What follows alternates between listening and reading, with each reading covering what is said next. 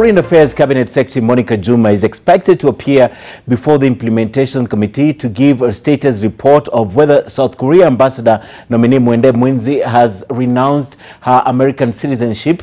Our political affairs reporter Kenan Mureithi is on this story and he now joins us live with a report. Ken, good afternoon. And uh, this has been contentious right from the time she was being approved by Parliament. What is the latest? Well, good afternoon to you, Ken. And the latest is that that meeting between Parliament or the Committee on Implementation and Monica Juma, that is the ambassador in charge of uh, Foreign Affairs Ministry, has been moved to 4 o'clock this afternoon as she had already written a letter to the clerk requesting that this meeting be pushed forward.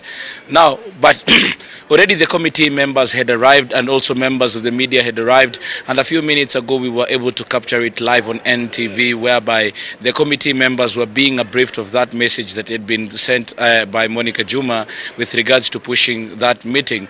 But one of the things that has come out of that meeting is that they do have pertinent questions with regards to what they would want Monica Juma to answer when uh, she appears before them. And this is on the matter of Mwende Mwinzi. Mwende Mwinzi was the ambassador nominee to South Korea, that is in Seoul.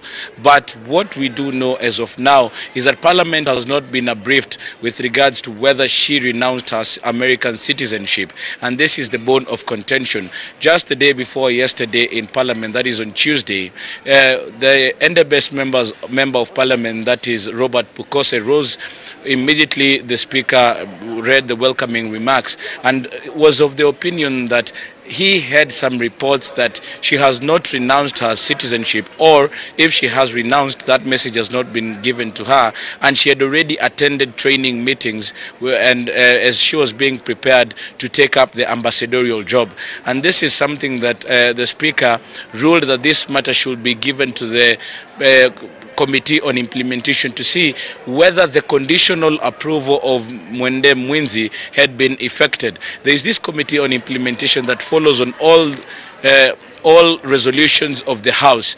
And if it is indeed true that she has not renounced her American citizenship, then they will write a report to Parliament with the view of making sure that she does not assume office. On that particular day, there were issues that were being raised on the floor of the House by the, all the members who stood to speak against her nomination. And they were all of the opinion that if indeed she's been given even an appointment letter, they will follow it through and make sure that it is rescinded and she comes back to the country. When she appeared before uh, the committee, that is the defense committee that vets all ambassadors, she said that if she was going to be approved by parliament, then she would rescind or she would uh, revoke her American citizenship to take up this job. According to the Constitution, an ambassador is a representative of the president and is also a, an ambassador is a state officer. So all this matters with regards to state officers and them holding dual citizenship is what was bringing uh, some kind of problem and it is what we will be knowing whether what are the questions that these members of the implementation committee will be having for Monica Juma as they have also said there are other matters that they would want to discuss with her. At 4 o'clock we'll be in that committee room where we'll be listening to what she will be saying and we will be relaying this information to Kenyans in our subsequent bulletins. Back to you, Ken, in studio. Right.